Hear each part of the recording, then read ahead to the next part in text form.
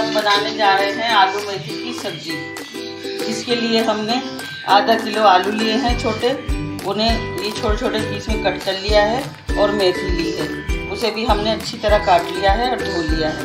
अब हम आलू मेथी की सब्ज़ी बनाना शुरू करते हैं।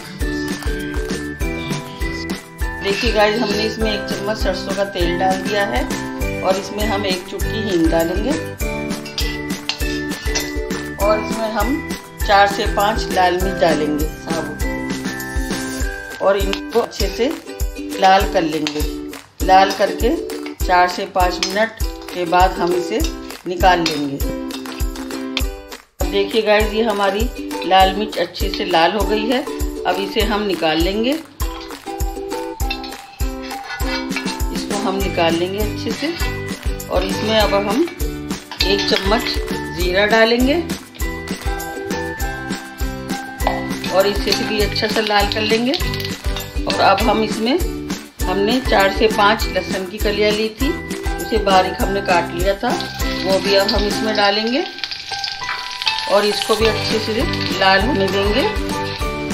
ये देखिए, अच्छे से लाल हो गया है हमारा ज़ीरा और लहसुन की कलियाँ।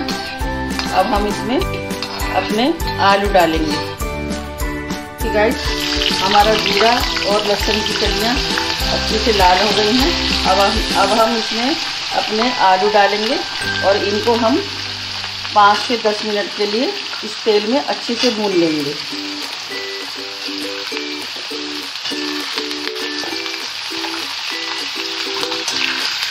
इसको हम पाँच से दस मिनट के लिए ये आधे गल जाए। इस हिसाब से हम इसको अच्छे से इसी तेल में भून लेंगे। गाइस ये आलू हमारे अच्छे से इसमें लाल हो गए हैं तेल में। अब हम इसमें जो हमने लाल मिर्च फ्राई की थी तेल में, उसको हमने इमाम दस्ते की मदद से बारीक कर लिया है, कूट लिया है उसको अच्छे से।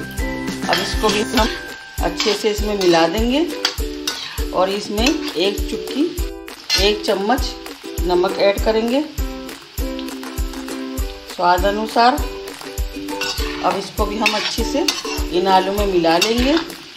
उसके बाद हम इसमें अपनी मेथी डालेंगे। इसमें हमने अपनी मेथी डाल दी है, क्योंकि मेथी तो जल्दी गल जाती है, आलू जल्दी नहीं गलते। आलू अगर फ्राई करके मेथी डालें तो उसका स्वाद बहुत ही अच्छा आता है। ये देखिए, हमने इसमें मेथी डाल दी है। और इसे भी अच्छी तरह हमने मिला लिया है। अब हम इसमें एक चम्मच हल्दी पाउडर डालेंगे। आप चाहे तो इन लाल मिर्चों की जगह किसी भी लाल मिर्च भी डाल सकते हैं। अब इसको हम इसमें मिला लेंगे और ऐसे ही हम बिना पानी के 10 से 5 मिनट इसको ढक के पकाएँगे। गाइस हमारी आलू मेथी की सब्ज़ी जो हमने पाँच से दस मिनट ढक के पकाई थी इसमें पानी नहीं डालना है, क्योंकि मेथी पानी छोड़ती है और भी अच्छे से गल गए हैं। अब हम इसे खाने के लिए सर्व करेंगे। देखिए गाइस हमारी आलू मेथी की सब्ज़ी अच्छे से पक गई है और हमने इसको सर्व कर दिया है। आप चाहें तो इसे पराठे के साथ, पूरी के साथ खा सकते हैं। अब हम इसमें थोड़ा सा अपना हरा धनिया डालेंगे। अगर आपको हमारी आलू मेथी की सब्ज़ी अच्छी हो, लगे लाइक करें शेयर करें कमेंट करें और आगे की रेसिपी का इंतज़ार